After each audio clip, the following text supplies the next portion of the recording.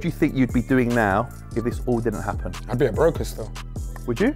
Yeah, I was a broker before. I was a junior broker though. For people that don't know what a broker is, just quickly explain it to them. My role specifically was just trying to get new customers in to invest to anything. So it could be stocks and shares, you could buy sugar, I don't know, it could be a commodity, a bond, you know what I mean? Absolutely anything. You're no fool. You know you know your stuff. Well, I was, bro, I was 17 making like seven to 10 racks. I was good.